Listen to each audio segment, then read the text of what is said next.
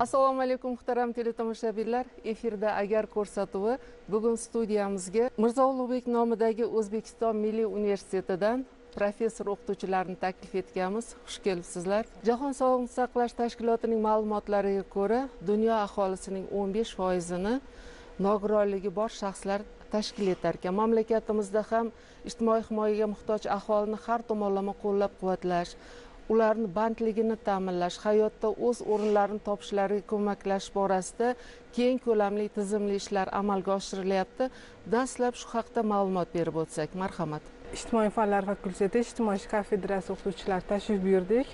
Bugungi kunda albatta talabalar bilan birgalikda ustozlar ko'pgina keys menejer seminar trening nazariyalar bo'yicha bilimlarimizni berib bormoqdamiz albatta bugungi kunda nogironligi bor shaxslar ham albatta o'zbekiston milliy universitetida nafaqat bizni universitetda balki oliy ta'lim muassasalarida o'zlarini bilimlarini olib э, faol ishtirok etishmoqda. Birinchi navbatda o'qituvchi sifatida ularga э, bitta shaxs o'zbekiston respublikasi fuqarosi sifatida murojaat qilamiz. Hech qanaqa to'siqlarsiz. Ularni э, imkoniyati cheklangan emas faqatgina o'sha nogironligi bor lekin bilimga chanqoq o'zini ustida ishlaydigan bilim mahorati bor. Dunyoqarashi keng shaxs sifatida bugungi kundagi o'sha nazariyalarimiz bilan e, bo'lishib kelmoqdamiz. Bugungi kunda o'sha mahalliy fuqarolar yig'inlarida ham e, yettilik faoliyatini olib bormoqda. Bu o'rinda bizga ham quvonarli ham mas'uliyatli vazifa sifatida ijtimoiy xodim E, biriktirilgan. Albatta biz bugungi kunda o'zimizni ijtimoiy kafedrasi tomonidan e, yo'nalishlar bo'yicha ularga bilim berib bormoqdamiz. Biz ijtimoiy xodimni e, shu mahallalarda yoki bo'lmasam o'zimni shu ilmiy ishim oila mavzusiga bevosita bog'liq har bitta shaxs oilada voyaga yetadi. Oilada ta'lim tarbiya oladi. Oilada o'zini munosib o'rnini egallagan holatda jamiyatga qo'shilib boradi.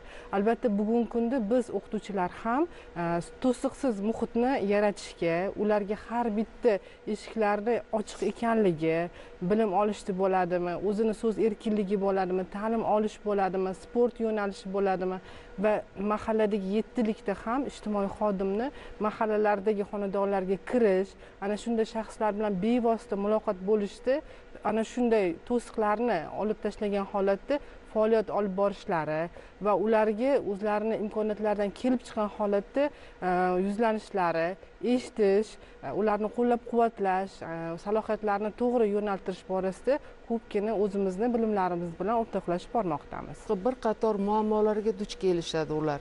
Mana shu muammolarga bugun qanday yechim izlanyapti? Yurtimizda olti yuz mingga yaqin nogironligi bo'lgan shaxslar mavjud bo'lib o'zbekistonda xususan yangi o'zbekistonda konstitutsiyamizni yangi tahririda ham bu alohida olingan ya'ni davlatimiz maqomi ijtimoiy davlat deb berilgan birinchi o'rinda ijtimoiy davlat nima degani aynan har bitta insonning ijtimoiy muammolariga insoniy nuqtai nazardan insonni qadrini ulug'lagan tarzda yondashish va buni ichiga nima oladi? Nogironligi bo'lgan shaxslar bilan har bittasi bilan alohida alohida ularning ehtiyojlaridan kelib chiqqan holatda ishlash nazarda tutiladi.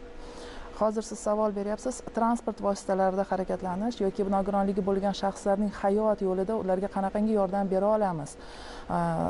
Hammamizga ma'lum nogironligi bo'lgan shaxslar haqida gapirganimizda albatta u yoki bu tanasida ma'lum bir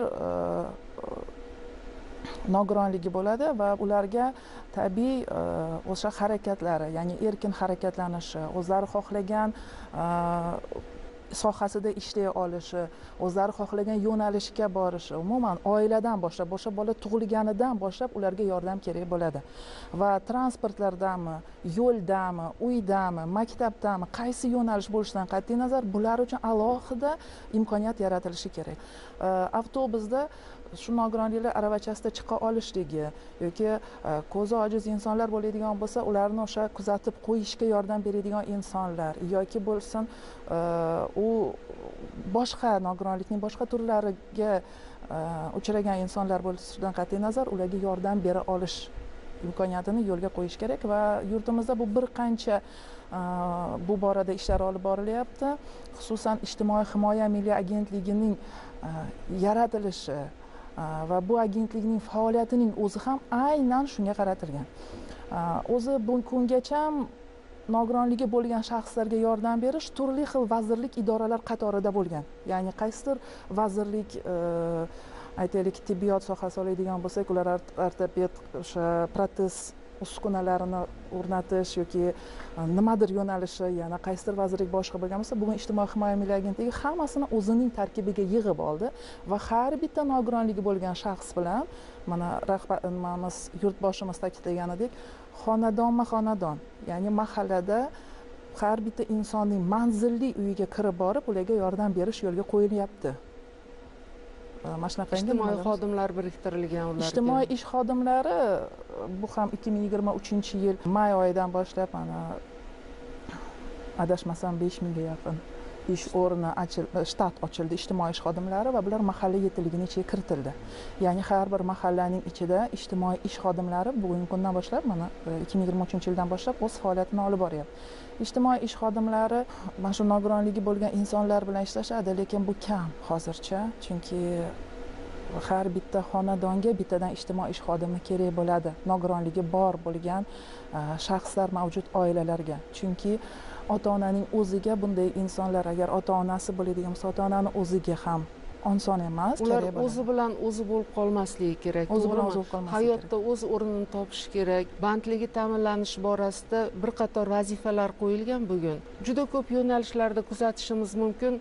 Adabiyotda san'atda hunarmandchilikda mana shu nogironligi bor shaxslar sog'lom odamlar erisholmagan natijalarga erishishyapti oliy ta'lim yo'nalishida ham dars berayotgan ustozlari bilamiz. Ular o'zini hech qachon imkoniyatini cheklangan deb hisoblamaydi. Ular pozitiv kayfiyatda atrofdagilarga ular kayfiyat ham bera oladi. Hammasi ham mana shunday hayotda dadil yurib ketoldi hayotda o'z o'rnini topdi o'zini tashvishlarini unutdi deb aytolmaymiz qiyinchiliklar qaysi yo'nalishlarda duch kelyapti bugun?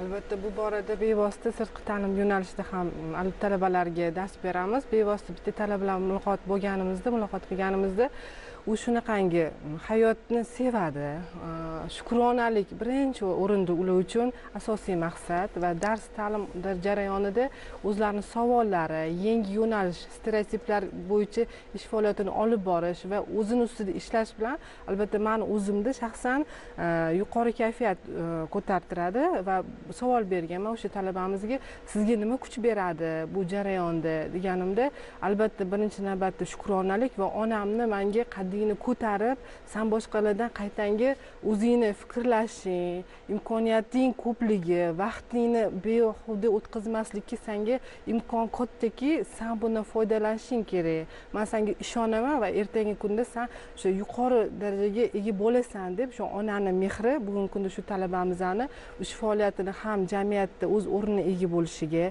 ta'lim olishiga turtki beryapti bu talabamiz ham bizda tahsil oladi ham o'zini yo'nalishini topgan talaba. Va bu endi man o'ylaymanki talabaga bunda biz e, baliq e, tutish uchun baliqni o'zini emas e, va balki qarmoq berishimiz kerak. Ya'ni biz unga turtki berib uni qo'llashimiz kerak. Unga birinchi navbatda nogironligi bor shaxs emas mukammal shaxs faqatgina qaysidir jihatdan imkoniyati cheklanganligini o'zimizda his qilib uni qo'llab quvvatlashimiz kerak deb o'ylayman. Albatta bu borada o'sha mana mahalliy kettiligini aytdik.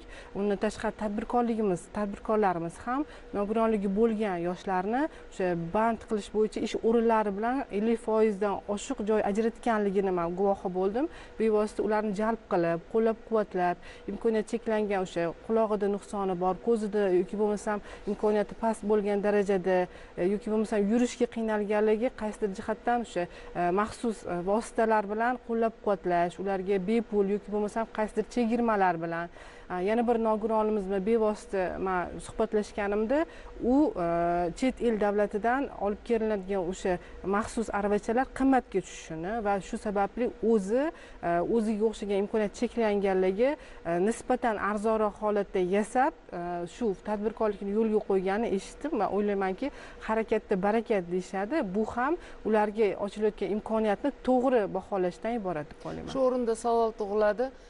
Nogironligi bor shaxslarni ish bilan band etgan tadbirkorlarga qandaydir imtiyozlar ko'zda tutilganmi?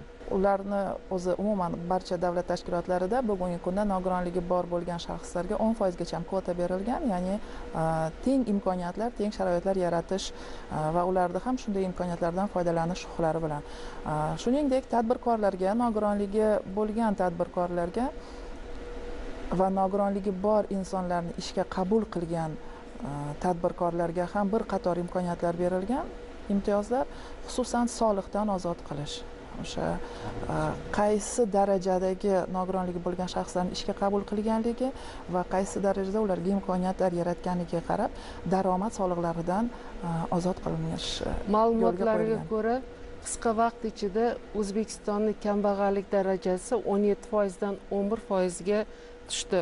Nogironligi bor shaxslarimizni qo'llab quvvatlasak ularni ta'lim olib hayotda o'z o'rnini topishiga yordam bersak ish bilan band bo'lgan aholi albatta mamlakat taraqqiyotiga o'sha ishlab chiqarishga qaysi sohada xizmat qilmasin o'sha tizimni rivojiga xizmat qiladi.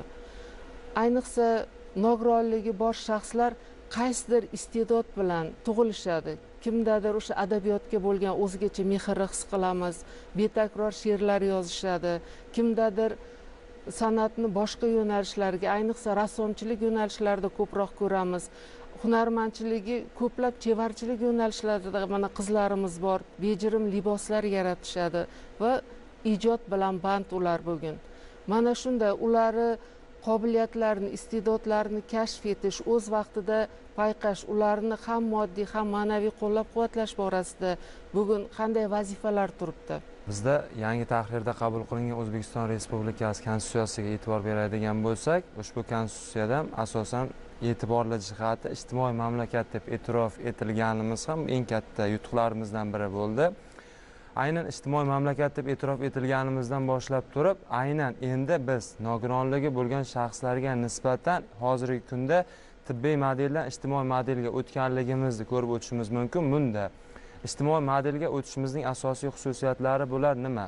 Ularga jamiyat hayotida teng imkoniyatlarni yaratib berishni nazarda tutuvchi alohida misol uchun qonunchilikda o'zbekiston respublikasi prezident farmonlarini qarorlarini va farmoyishlarini ko'rib o'tishimiz mumkin. Undan tashqari agarda hozirgi kunda o'sha nogironligi bo'lgan shaxslarni tadbirkorlik bilan shug'ullanishdagi imkoniyatlariga e'tibor beradigan bo'lsangiz hozirgi kunda e, o'sha banklar tomonidan subsidiyalarni ajratilishi imtiyozli ya'ni davlat tomonidan kafolatlangan o'sha subsidiyalar orqali o'sha tadbirkorlik faoliyatiga jalb qilinishi yoki bo'lmasam oddiy sog'lom insonlarni nogironligi bo'lgan shaxslarni ishga olgan vaqtida davlatimiz tomonidan yaratib beriladigan imtiyozlar va kafolatlardan foydalanayotganligini ko'rishimiz mumkin.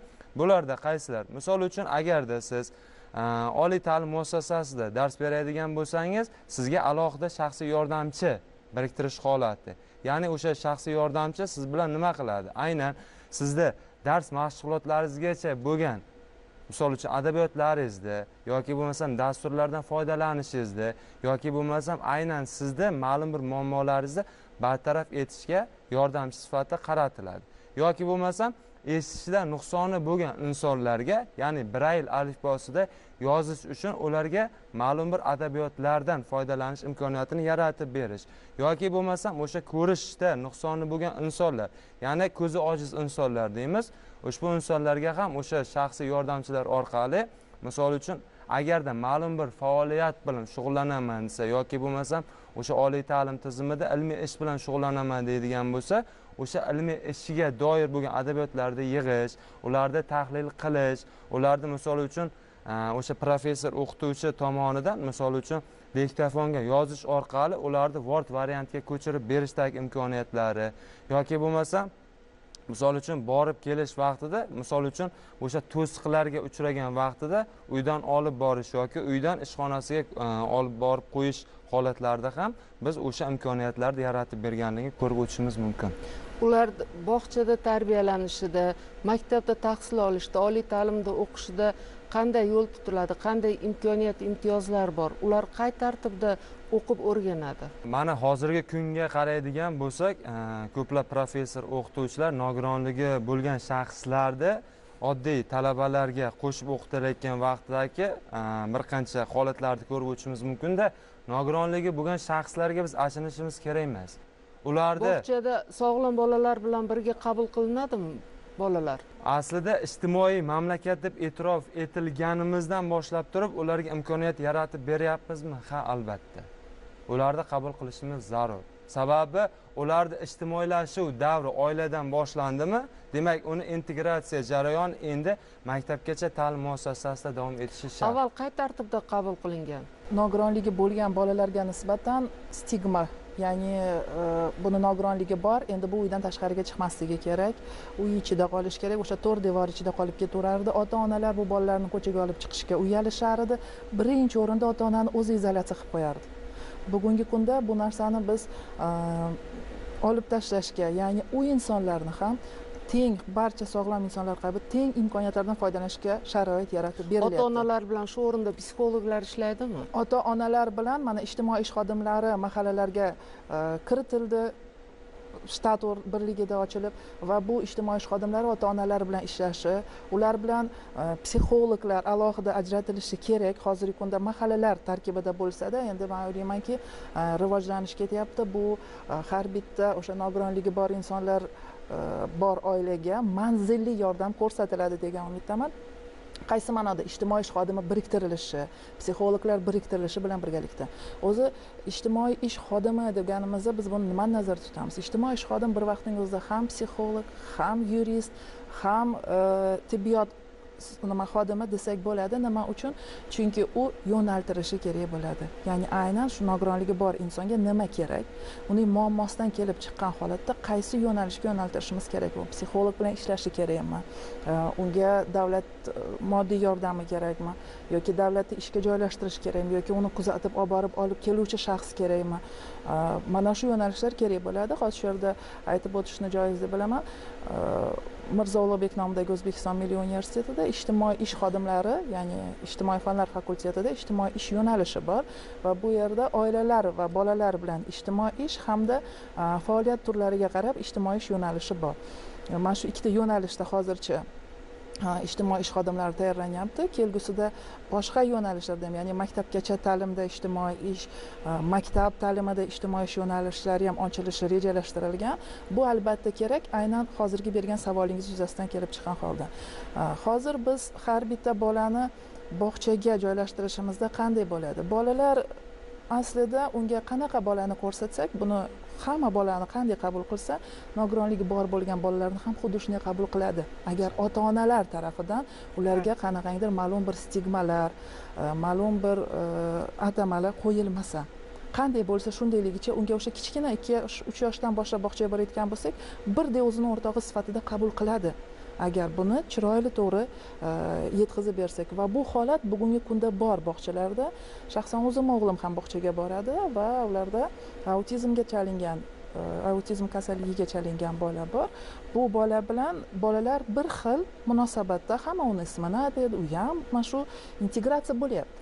Ya'ni sog'lomlashishga ham ijobiy ta'sir ko'rsatadi bu bola endi e, oldin autizmi boshqa stependa bo'lgan bo'lsa bugungi kunda u boshqa darajaga chiqdi. Ya'ni bola bolalar bilan muloqot ham qilyapti. Bolalar qayerdadir qandaydir harakatlarini ko'rsatishga harakat qilyapti. Va bu bizni o'zimizni qo'limizda. Qanchalik biz bolalarni ijtimoiylashuviga yordam bersak ota onalar tarafidan e, keyin jamoatchilik tarafidan biz o'sha insonlar bu bolaga o'zimizni farzandlarimizga nogiron bola bilan o'ynamay emas balkim u ham inson va uning ham e, o'sha teng imkoniyatlarga haqqi borligi va unga ham biz yordam berishimiz kerak ekanligini tushuntirib bilsak bu bog'chalarda muammo bo'lmaydi. E, va aytib o'tib ketishim kerak bog'chalarga ham ijtimoiy ish xodimi kerak. Nima uchun kerak? Aynan shu narsani bog'chadagi tarbiyalovchi tarbiyachilardan tortib o'sha bog'chada tarbiyalanayotgan bolalargacha shunday insonlarning ijtimoiylashishiga ijtimoiy ish xodimlari yordam berishi uchun ham kerak. Maktabda bu jarayonlar qanday kechadi? Tarixga nazar tashlaydigan bo'lsak tarixda biza nogironligi bo'lgan shaxslarni misol uchun tarixda o'zida ham o'qiganimizda misol uchun ularni keraksiz bir buyumga o'xshatishgan. Misol uchun uni kasal bo'ldi u keraksiz narsa. Uni bir muammosi bor agarda uni biz jamiyatga yoki jamoaga qo'shadigan bo'lsak uni kasalligi demak bizga ham yuqadi degan ma'noda kelgan. A hozirgi kunda misol uchun o'sha tibbiy modeldan ijtimoiy modelga o'tganimiz singari misol uchun o'sha xalq ta'lim tizimiga agar qaraydigan bo'lsak xalq ta'lim tizimida ham tubdan bir qancha islohotlar amalga oshirilmoqda. Ya'ni bunda o'sha nogironligi bo'lgan shaxslarni oldingi davrda misol uchun alohida oilaviy shart sharoitlarda misol uchun bitta o'qituvchini to'rtta fandan yoki ikkita o'qituvchini sakkizta fandan dars berayotganligini ko'radigan bo'lsak hozirgi kunda o'sha nogironligi bo'lgan talabalarni yoki bo'lmasam o'sha o'quvchi yoshlarni alohida emas endi jamoasi bilan ya'ni o'sha sinfiga borib turib o'sha panduslardan foydalangan holda o'sha o'quv adabiyotlardan misol uchun o'qib turgan holda o'sha sinfni o'zida bilimlarini olayotganligini ko'rishimiz mumkin.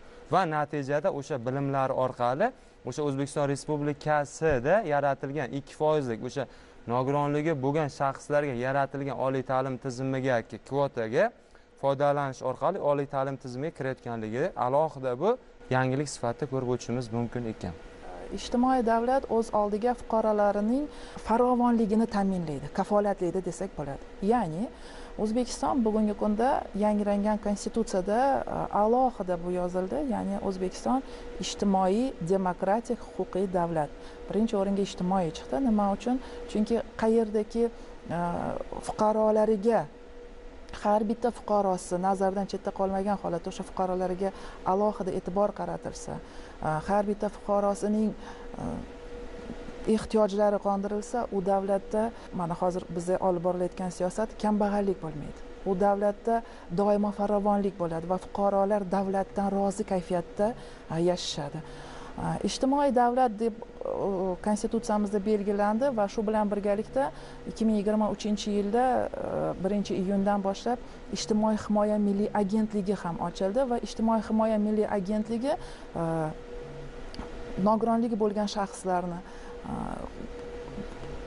kambag'alligi bo'lgan shaxslarni umuman ijtimoiy himoyaga muhtoj bo'lgan barcha shaxslarni qaramog'iga oldi desak bo'ladi. Ya'ni o'sha har bitta shaxs bilan manzilli ishlagan holatda ularni e, jamiyatga yetkazib berish vazifasini o'z oldiga oldi. Bu xususida o'zbekiston milliy universiteti ham ijtimoiy himoya milliy agentligi bilan hamkorlik qilib boradi va bu ijtimoiy himoya milliy agentligi mahalliy tarzda ya'ni har bitta tumanda inson markazlari ochildi. Inson markazlari e, ijtimoiy ish xodimlarini har bitta mahallada ijtimoiy ish xodimlari o'rinlari ochildi.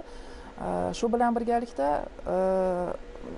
milliy universitet ijtimoiy himoya milliy agentligini kadrlarni qayta tayyorlash markaziga ya'ni o'sha ijtimoiy ish o'rinlari ochilgan joyiga kadrlarni qayta tayyorlashga dars o'tish yo'lga qo'yilgan o'zimiz ijtimoiy ish kafedrasi o'qituvchilarimiz bu faoliyatni olib borishyapti hamda ijtimoiy himoya milliy agentligi bilan hamkorlikda respublikamizda mana shu ijtimoiy ishchi xodimlarni yetkazib berish hamda e, har bitta yo'nalishda e, ijtimoiy himoyaga muhtoj bo'lgan shaxslarga qanday yordam bera olishimiz to'g'risida bugungi kunda hamkorlikda ishlar olib borilyapti.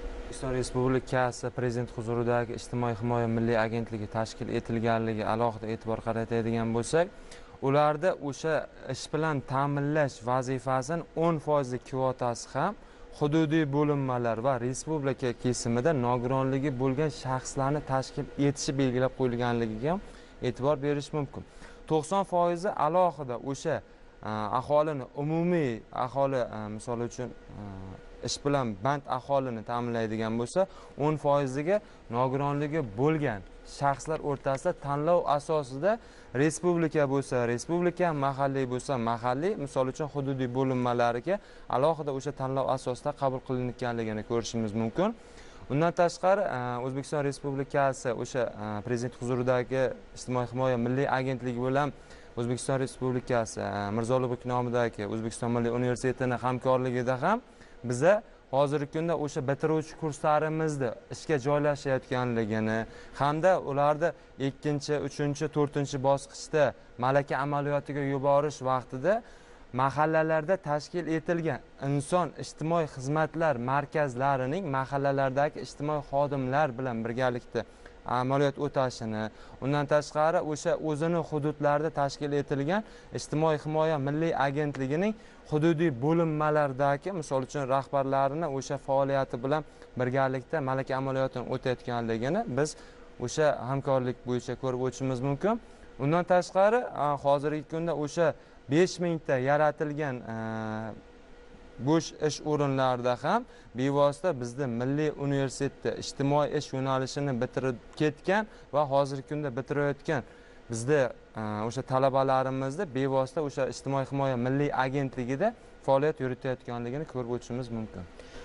Nogironligi bor shaxslari zarur buyumlar protez ortopediya vositalari bilan ta'minlash qanday hal etiladi? Zarur buyumlar aynan o'sha protez ortopediya E, vositalari bilan ta'minlanishi bu bevosita har bitta hududdagi tibbiy poliklinika bilan hamkorlikda ya'ni shu tibbiy muassasalar bilan hamkorlikda ijtimoiy himoya milliy agentligi hamkorlikda olib borishadi va kerak bo'lgan barcha e, vositalar bilan e, o'sha nogironligi bo'lgan shaxsning nogironlik darajasiga qarab ta'minlab berishga harakat qilinyapti.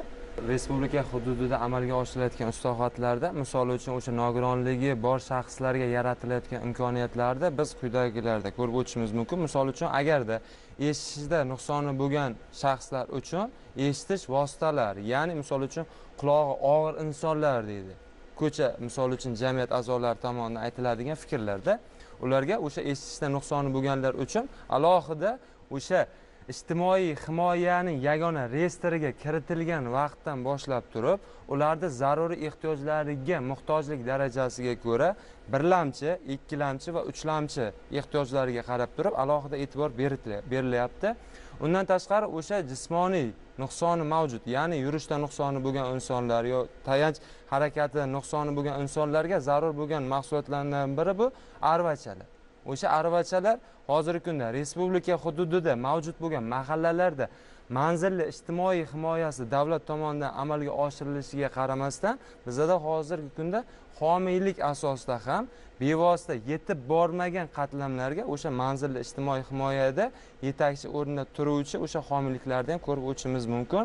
Undan tashqari hozirgi kunda yana yangiliklardan biri o'sha o'qish misol uchun e, ko'rish nuqsonida Э, nuqsoni bo'lgan ko'rish qobiliyati nuqsoni bo'lgan insonlarni o'qishidagi muammolardan kelib chiqqan holda brayl ko'rinishdagi alifboni yaratish va hozirgi kunda o'sha printerlarni chiqib ketganligini ko'rishimiz mumkin. O'sha printerlar asosida oliy ta'lim tizimiga brayl alifbosini kirib borishi yoki bo'lmasam hozirgi kunda xalq ta'lim vazirligi va maktabgacha ta'lim vazirligi o'sha brayl alifbosidagi printerlarni misol uchun ma'lum bir hududlar kesimida misol uchun davlat tomonidan kafolatlangan miqdorda berilayotganligi aynan o'sha nogironligi bo'lgan shaxslarni bilim olishdagi misol uchun samaradorlik ko'rsatkichini biz ko'rib o'tishimiz mumkin ekan. Ular oilalariga ham qandaydir imtiyozlar ko'zda tutilganmi? Oilalarga birinchi o'rinda birlamchi yordam beriladi ya'ni e, birlamchi yordam nima? Birinchi ehtiyojlarni qondirish. Agar ota va ona ishlaydigan bo'lsa e, daromad solig'idan ularda ma'lum miqdorda ushlab qolinmaydi bu birinchi yordam. Ikkinchi o'rin yordam e, o'sha ish vaqtining kamaytirilishi ya'ni nogironligi bo'lgan oila farzandi bo'lsa ularning ta'til olishi ish vaqtining kamaytirilishi yoki o'sha oiladagi farzandning kasalligi tufayli ota ona ham kasallik varaqasini olishi mumkin ekanligi bu ham ijtimoiy yordam shuningdek umuman bularga boshqa yordam beruvchi yoki daromad manbai bo'lmaydigan bo'lsa ularga nogironligi bo'lgan bolaga qaruvchi ota onaga ham demak oylik maosh yoki o'sha nafaqa tayinlanishi bu ham davlatimiz tomonidan yaratib berilgan imkoniyatlardan biri sifatida ko'rsak bo'ladi shuningdek nogironligi bo'lgan bolalarga o'sha nogironligi qanaqangi tarzda bo'lishidan kelib chiqib ularga beriladigan hozir yuqorida aytib o'tganimizdek birlamchi ikkilamchi uchlamchi yordamlarimizni nazarda tutishimiz mumkin. Mana shaharlarimiz qishloqlarimiz kun sayin ko'rkam qiyofa kasb etyaptida. Yangi yangi bino inshootlar qurilyapti yangi transport vositalari keltirilyapti. Mana metrolar ishga tushirildi. Bu jarayonlarda qanchalik ularga shart sharoit yaratish ko'zda tutilgan? Ular uchun imkoniyatlar bormi bugun? Albatta o'zbekiston respublikasiga o'sha bu kunda ahamiyat beradigan bo'lsak har bitta fuqaroga alohida individualniy yondashuv sifatida uni o'sha ehtiyojlari yoki talab istaklaridan kelib chiqqan holatda imkoniyatlar yaratilyapti. Bu borada nogiron yoki qaysidir ma'noda imkoniyat cheklanganlarga o'sha avtobusga chiqish holatlari bo'ladimi yoki bo'lmasam o'sha bilim olish jarayonida hattoki e, bizni biladigan o'sha sayohat jarayonlarida o'sha samolyotga tashrif uyushtirish yoki bo'lmasam o'sha e, san'at yo'nalishi bo'ladimi teatr maktablarga tashrif buyurish jarayonlarida o'sha kiraverish qismlarida e, yoki bo'lmasam o'sha sihatgohlarda dam olishda ham alohida e'tiborlar berilyapti bu borada o'sha hududiy poliklinikalar tomonidan ham ularni har tomonlama o'sha navbatsiz e, tibbiy e, muolajalarga yo'naltirish qo'llab quvvatlash va bu borada ularni ham ehtiyoji va bugungi kundagi har bitta talab istaklaridan kelib chiqqan holatda shart sharoitlar yaratib berilmoqda. Keyin e, mana hozirgi kunda zamonaviy transport vositalarida ya'ni o'sha jamoatchilik transportida foydalanishdagi imkoniyatlar ham nogironligi bo'lgan shaxslar uchun yo'naltirilyapti. Ya'ni bu nima? Aynan jamoatchilik transportiga misol uchun avtobus misolida oladigan bo'lsa o'sha avtobusga chiqqanida manziliga yetib borganida o'sha agarda ko'rishida nuqsoni bo'lgan insonlar ya'ni o'sha ko'zi ojiz insonlar uchun ostanovkalarini ya'ni o'sha bekatlarini nomlarini aytish orqali ularga ogohlantirish sifatida misol uchun o'sha bekatga yetib keldingiz. Tushish ya'ni tushish vaqtida misol uchun alohida o'sha transport vositalarida agarda u arvachada bo'ladigan bo'lsa pandus ya'ni o'sha avtobusni o'zida pandus orqali misol uchun o'sha konduktor deymiz o'sha konduktor orqali o'sha arvachadan yoki bo'lmasam o'zimizni fuqarolarimiz bilan birgalikda o'sha bekatga yetib borganda tushib e, borib misol uchun emin yoki erkin o'zi mustaqil ravishda jamoatchilik transportidan foydalanayotganligini ko'rishimiz mumkin. Undan tashqari zamonaviy bekatlar o'sha zamonaviy bekatlarni o'zida ham misol borganda avtobuslarda yetib borish vaqtida avtobus bilan misol uchun muhitni shart sharoiti yaratilganligini o'sha aravacha bilan to'siqlarga uchramasdan turib o'sha jamoatchilik transportlariga bevosita o'zi imkoniyatdan kelib chiqqan holda misol uchun foydalanishi. Yoki bo'lmasam misol o'sha o'zbekiston respublikasi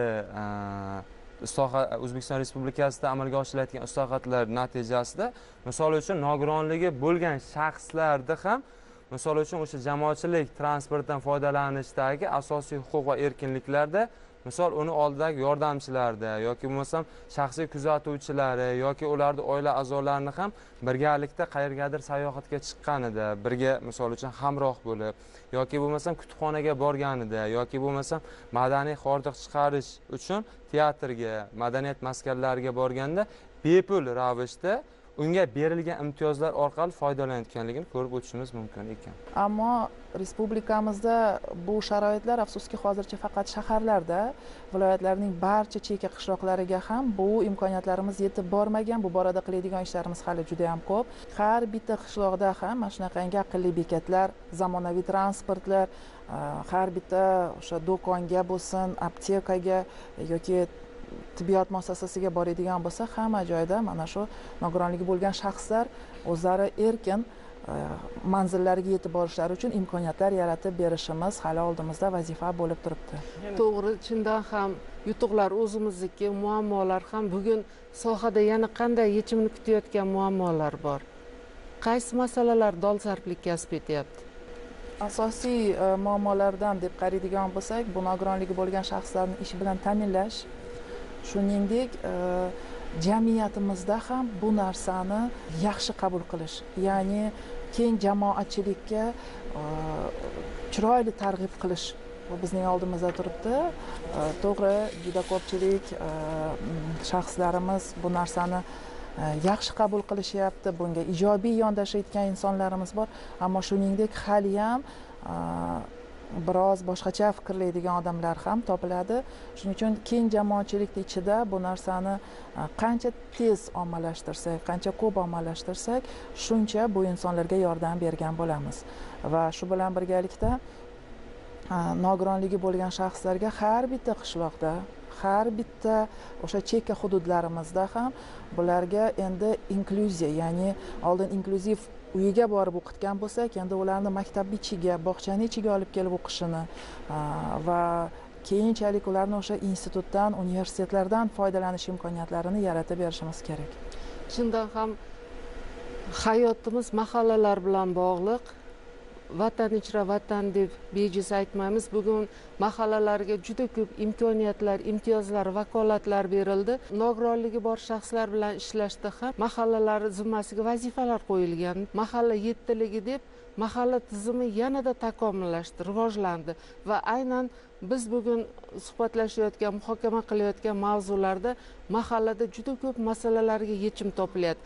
Aynan mana shu imkoniyatu imtiyozlarga tavsiya beradigan mana shu mahallalar mazkur tizim faoliyatini yanada rivojlantirishga bejiz e'tibor berilmayapti.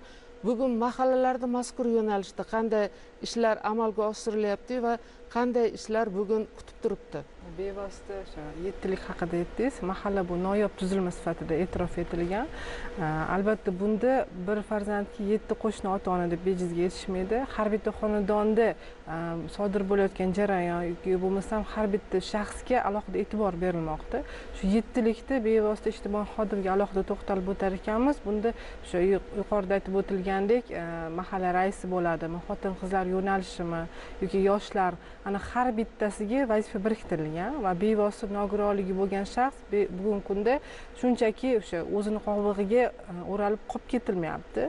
Bevosita xonadonlarga tashrif buyurib uni muammoli vaziyatimi yoki bo'lmasam talab istagidan kelib chiqqan holatda yo'nalish berilmoqda. Lekin baribir og'riqli nuqtalarimiz bor. Hamma shaxs e, bir xil fikrlamaydi. Albatta buni bugun o'zimizdan boshlashimiz kerak. O'sha insonga murojaat qilishdan oldin bitta shaxs ekanligini u imkoniyati faqatgina qaysidir qismda cheklangan lekin u fikrlay olishi u nafas olayotganligi o'zini o'rni borligi va bu borada o'sha e, oltin daftar deymizmi yoki nizoli vaziyatlarga bog'liq temir daftar yoshlar ayollar daftari bu bevosita shu e, insonlar qatlamiga muhtoj bo'lgan qatlamini o'ziga jalb qilgan holatda vaziyatlarni o'rganib uni yechimini bevosita sababi va yechimini o'rganilmoqda. Bu shunchaki hozir e, muammo va vaziyat o'rganilmay qolib ketilmayapti. Shu yettilik bevosita bir biri bilan bog'liq holatda chambarchas zanjir sifatida muammo o'rganilmoqda yechimi bartaraf etib yo'naltirilmoqda. Bu borada o'sha nogironlik bo'lgan shaxs ham bugungi kunda o'sha belgilangan barcha imtiyozlarga jalb qilinyapti bu borada o'ylaymanki yanada takomillashuv rivojlanadi. Alohida bir narsani aytib o'tmoqchi edim. Bugungi kunda e, onlayn e, tizim ham yo'lga qo'yilgan. Bu qaysidir ma'noda nogironligi bo'lgan shaxslarga imkoniyatlar eshigini ham ochish mumkin. Ta'lim yo'nalishi bo'ladimi yoki bo'lmasam o'zini e, o'sha ishlab chiqarish yoki tikuv mm, amalga oshiradimi o'zini o'sha tadbirkorligini o'sha platforma orqali yoki bo'lmasam internet ijtimoiy tarmoqlar orqali ham bazaga bazaga joylab e, daromad e, manbaini amalga oshirish mumkin. Bu borada o'ylaymanki e, qaysidir ma'noda o'sha yonidagi atrofdagi yo'nalishlar ham qo'llab quvvatlasa hozirgi kunda ularga imkoniyatlarimiz bor. Har bitta nogironligi bor shaxs bilan alohida ishlash kerak deb aytildi. Chindan ham har birini holati alohida. Kimdir kiyimini o'zi kiyolmasligi mumkin kimdir yurolmasligi mumkin kimdir gapira olmasligi mumkin. Va ana shu jihatlardan kelib chiqib unga ko'mak belgilanadi. Mazkur yo'nalishdagi ishlari takomillashtirish yanada yangi bosqichga olib chiqish uchun raqamlashtirildi. Raqamlashtirish natijasida ular dam olib davolanishlari pansionatlarga borishlari zarur dori vositalari bilan ta'minlanishlari nazoratga olingan. Ular salomatliklari bugun qay ahvolda? Shu o'rinda savol tug'iladi nogironligi bor shaxslarni nogironlikdan chiqarish holatlari qanday hal etiladi? Nogironligi bor bo'lgan shaxslar sog'lom insonlar bilan teng imkoniyatlarga ega bo'lishdi. Bugun desak mubolag'a bo'lmaydi. Va bu borada juda yam ko'plab harakatlar olib borilyapti. Mahalla tizimida inson ijtimoiy xizmatlar markazi mavjud. Bu ijtimoiy ishchi xodimlari deb aytyapmiz. Hozir siz aytgandek o'zini kiyimini kiyolmaydigan o'zlari kerakli manziliga yetib bora olmaydigan insonlarga ijtimoiy ishchi xodimlari biriktiriladi. Lekin bu biroz kam. Ya'ni bu borada e, qilinadigan ishlarimiz bor. Buning uchun yana ijtimoiy ish xodimlarini aynan o'sha nogironligi bo'lgan yo'nalishiga qaratilgan ijtimoiy ish xodimlarini yetkazib berishimiz kerak jamiyatga. Oldimizda mana bu muammo turibdi. E, nogironligi bo'lgan shaxslarni e, sog'lomlashtirish uchun agar biron bir qo'li yoki oyog'i biron bir a'zosi bo'lmaydigan bo'lsa bunga ortopedik vositalar o'rnatilishi natijasida ularni sog'lom insonlar qatoriga kiritamiz. Shu bilan birgalikda ularni e, bo'ldi deb ro'yxatdan chiqaza olmaymiz. Ya'ni ularga doimo e, o'sha insoniylik e'tiborimizni qaratishimiz e, kerak.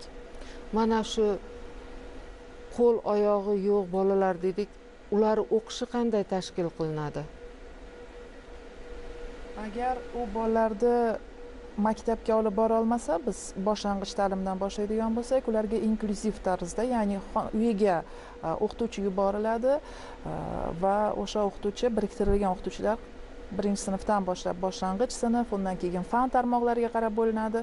Demak qaysi fan o'qituvchisi o'sha shu o'qituvchilar inklyuziv tarzda bolaning uyiga kelib dars o'tishadi. Agar ular keyinchalik maktabga olib borishga imkoniyat bo'lib yoki maxsus aravachalar bilan boradigan bo'lsa demak ular maktabda ham umumiy bolalar bilan birgalikda ya'ni inklyuziyalashgan jamiyatda o'qishi mumkin va bu imkoniyatlar bugun bizda ochiq. Ya'ni oldinlari bizda ruxsat berilmagan hatto ota onalar ham shikoyat qilishar edi bolalarim bu bola bilan o'qimaydi yoki boshqa sinfga oling degan e'tirozlar bo'lgan oldinlari hozirgi kunda bunga juda ko'pchilik to'g'ri qarab qabul qilishyapti. Chindan ham xalqimiz azaldan mehr saxovatli muruvvatli maktabda bog'chada umuman oliy ta'limda bu bolalarni birgalikda o'qishi yonidagi atrofdagilarga ham hayotda chuqurroq anglashga qadriga yetishga o'rgatadi. Tarbiyaviy ahamiyati ham alohida deb o'ylayman. Maxsus maktablar bo'lardi to'g'rimi? Bugun ham mazkur maktablar faoliyat yurityaptimi? Toshkent shahrida ham bunday e, maktablar mavjud. E, respublikamiz bo'ylab ham bunday internat maktablar bor. E, zaif eshituvchilar uchun ko'zi ojizlar uchun nogironligi bor bolalar uchun ortopedik muammolari bor bolalar uchun bog'chalar ham hattoki bor haliyam. Ko'plab bunday maktab va bog'chalarimiz hali bor. Bunda tarbiyachilar bilan birgalikda tibbiyot xodimlari ham ishlaydi negaki ularni salomatliklari nazoratda bo'ladi. va sog'lomlashtirish ishlari dars jarayonlari bilan birgalikda olib boriladi. Nogironligi bor shaxslari sport bilan shug'ullanishlari uchun qanday shart sharoitlar yaratilgan qanday imtiyozlar bor albatta bu yo'nalishda ham hozirgi kunda judayam yutuqlarimiz ko'p deb o'ylayman. Bugungi kunda sportchilarimizni g'alabalaridan ular erishayotgan natijalar albatta buni ko'rib turibmiz o'sha ommaviy axborot vositalari orqali ham ular o'sha paralimpiya yo'nalishlari bo'yicha bo'ladimi yoki bo'lmasa imkoniyat cheklangan bo'lishiga qaramasdan sportni har bir turiga qaytangi yana ham shijoat bilan yondashuvni ko'rishimiz mumkin. Bu borada sportni rivojlantirish bo'yicha assotsiatsiya tashkil qilinishini bevosita e, yaqinda eshitib qoldim. E, bu borada mahalla fuqarolar yig'inida ham ana shu sportni turli yo'nalishlariga fuqarolarni bevosita va bilvosita e, shug'ullanishlari bo'yicha imkoniyatlar sport maydonchalari yoki bo'lmasam o'sha har xil sport yo'nalishlariga abonementlar taqdim etilishi qo'llab quvvatlanish ularni jalb qilishi yo'naltirilishi ham bugungi kunda katta yutuq sifatida ko'rilmoqda. Hozir imkoniyatim cheklangan e, bunga sharoitim yo'q degan narsa manimcha kam holatda uchramoqda. Asosan mahalla yettiligiga murojaat qilish ijtimoiy xodimni bunda o'sha har bitta xonadonni o'rganganda kimni qiziqishiga qarab yo'naltirishda sport yo'nalishida ham albatta yoshlar bugungi kundagi e, o'sha olimpiadalarda oltin medallarni olib yuqori cho'qqilarga erishganlarga bevosita havas bilan ko'z e, qarashmoqda va bunga e, o'zlarini sportga bo'lgan qiziqishlarini ortib tomora sport yo'nalishlarida erishilayotgan natijalar ham mm, bugungi kunda yutug'imiz. E, nafaqat sog'lom shaxslar bunda o'sha imkoniyati balki oyoq e, qo'lida yoki bo'lmasam e, o'sha yurish imkoniyatida bo'lishi mumkin. Har bitta inson hozir harakat qilsa qir oshadi deydimi? Albatta nogironligi bo'lgan shaxslarda ham bunga imtiyozlar imkoniyatlar bugungi kunda bemalol qo'llab quvvatlash bilan amalga oshirilmoqda. Chindan ham biz ham faoliyatimiz davomida o'sha nogironligi bor shaxslar bilan uchrashamiz suhbatlashamiz. Ularni vaqt qadrlashini ko'proq kuzatamiz. Ular har bitta o'tayotgan kunni qadriga yetishadi. Ko'p ma'noda ular bizga ibrat bo'la olishadi. O'zlarini faoliyatlari kuchli metin irodalari va bag'ri kengliklari bilan. Ko'zi ojizlar maxsus maktablarida bolajonlar bilan o'quvchilar bilan suhbatlashamiz. Ularni dunyosi shunaqangi toza beg'uborki beixtiyor havasingiz keladida ularni olamiga. Ulardagi samimiylik ulardagi insonlarga bo'lgan mehr muruvvat judayam o'rganadigan jihatlar ko'p. Mana sizlar mana shu yo'nalishda ular bilan bevosita birga ishlaysizlar. Shu yurtdoshlarimiz bilan. Demak olib borilayotgan islohotlar barchasi yurtdoshlarimizni baxtli hayotiga qaratilgan mana shu belgilangan vazifalar amalga oshirilgan loyihalar natijasida nogironligi bor shaxslari sog'lom hayotga qaytishi o'ziga bo'lgan ishonchi va jamiyatimizga mamlakatimiz taraqqiyotiga qo'shayotgan hissalari ortib boraveradi. Ko'rsatuvimizga tashrifingiz va ma'lumotlaringiz uchun minnatdorlik bildiramiz. Muhtaram teletomoshabinlar siz agar ko'rsatuvni tomosha qildingiz e'tiboringiz uchun tashakkur dasturlarimiz davom etadi.